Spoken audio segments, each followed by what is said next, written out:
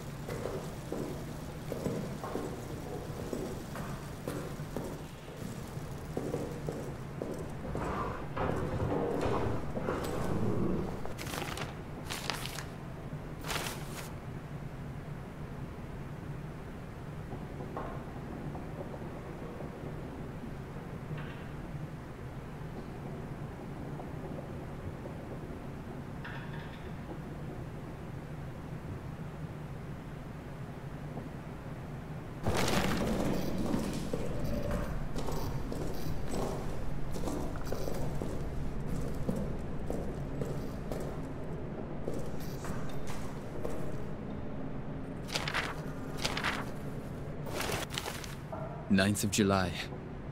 I do not know the time, but dusk has fallen, and still, of course, no word. When I asked the sergeant, he shrugged, as if I was asking about when it might next rain. These fools around me, laughing, drinking, arguing. Do they know what I've done? Do they suspect it? I feel they must all be guilty of something. And yet, they laugh, drink, argue. God knows what I've done. I wonder if his judgment could be worse than my own.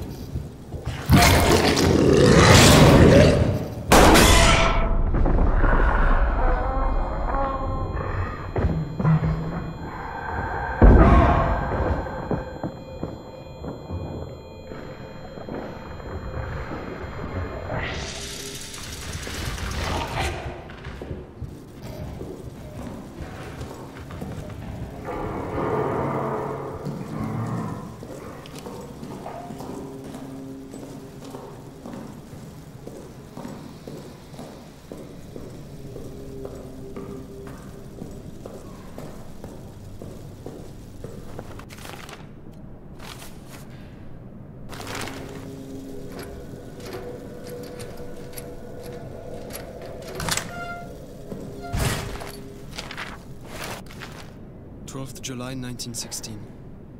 Up again. In the chapel. Trying to pray, but my mind is too alive with thoughts of the crater. The rabbit. And that water. Its taste.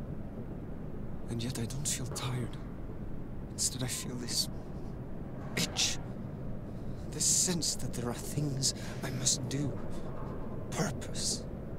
A bloody purpose higher than any of man's petty wars. 13th July 1916. Morning. Everyone's talking about hearing scratching at the walls. Tremblay even claims to have heard howls echoing through the barracks. I feel strange myself. Can barely find the words to write. My hands feel so odd. Gnarled. Bulbous. Like they don't belong to me. I hesitate to write this, but a thought keeps echoing in my head. A thought I must not act on. A bloody thought so seductive. It calls. It calls. It calls. 15th July 1916. Madness in the barracks this morning. Renard's dead. They say murder but will not show us the body. A dream rises in my mind. Countless cruel eyes upon me. Must check on Henri. Wish he would wake. Could use a friend. My prayers remain unanswered. 18th July 1916. Blood on my hands. Blood on my hands. Blood on my hands. Their pain. I want more of it. I can hear Tremblay now. Coming closer. Closer. Closer. I can get what I want from.